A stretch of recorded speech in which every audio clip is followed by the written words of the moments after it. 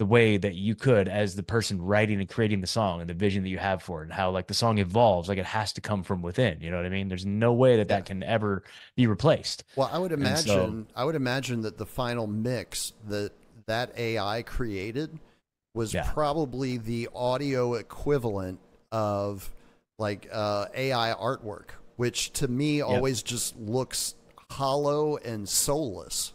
Exactly Like no matter yeah, how so- elaborate it is, it's just sterile. Like it has it has no I, I don't even know what the word is. There's but you Yeah. can tell that there is something missing. Dude, it's so weird because uh, you know, they have the uncanny valley, right? That applies to like when you're looking at images of humans, like we're programmed into such a way that like even if like a an image of like a human type form is off just a little bit, our senses can detect it, right? You know, and and, and it creates that weird kind of disorienting feeling. But it's the same thing like with AI generated art. Like our, our, it's so fascinating how our minds can pick up on that, and it's even hard to to precisely put your finger on what aspect or what characteristic of the image or writing too.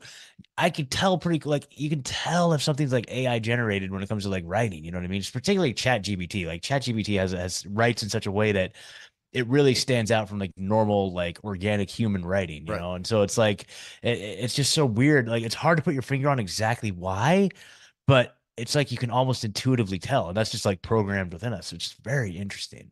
And so, but yeah, with the the AI mixing thing, like what it wants you to do is, uh, well, you have the option to do this. Like it says, upload a song that you like that kind of is the sound that you're going for, and it'll kind of like mimic that. So like you can put like a like for one of the songs I like I uploaded like a Rage Against the Machine song to like I'm like I really want that like hard like hitting shit, you know what I mean? And I'm just like, eh, I just didn't quite get there, you know what I mean?